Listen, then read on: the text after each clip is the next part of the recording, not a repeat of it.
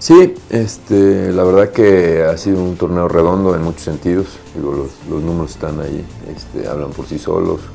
una gran cantidad de goles a favor, eh, eh, la mejor ofensiva, la segunda mejor defensiva, la mayor diferencia de goles, 35 puntos, pase a Libertadores, pase a Conca Champions. Este, entonces, pues, creo que en general ha sido un torneo pues, muy bueno, sobre todo porque bueno, nuestra prioridad, como lo hemos dicho desde el principio, es la cuestión porcentual. ¿Por qué? Porque estábamos arrastrando un torneo de 11 puntos y bueno, estos 35 puntos son muy, son muy buenos, aunque todavía nos falta el siguiente torneo hacer una buena cantidad para ya tener eh, o poder pensar en un proyecto, pues ahora sí que con más tranquilidad a, más largo plazo.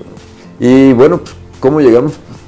Estamos en una final, ¿no? Y, hay que, como yo digo, disfrutarla y luchar para, para conseguir el título.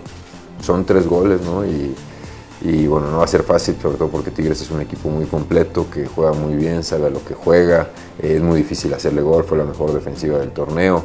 Pero bueno, vamos a estar en casa y hay que ir gol por gol, ¿no? Primero hay que meter el primero y sabemos que necesitamos tres para alargarlo a tiempo extra o para lo que se dé, ¿no? Pero bueno, estamos con la ilusión de luchar por él, ¿no? Ya estamos aquí. Sí, bueno, por supuesto que la afición siempre estaba apoyando, creo como dices, este, no tuvimos una derrota en fase regular.